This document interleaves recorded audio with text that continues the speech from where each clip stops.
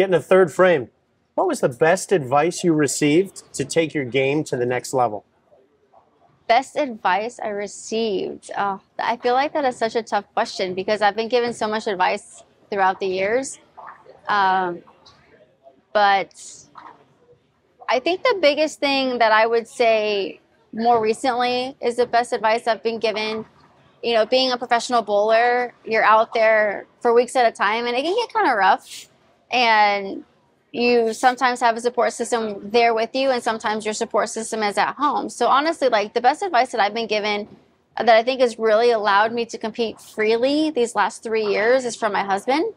And he just told me like no matter what happens i i don't love you less. I don't think of you as less. Like you're if you win or lose like you're to come home to a loving environment.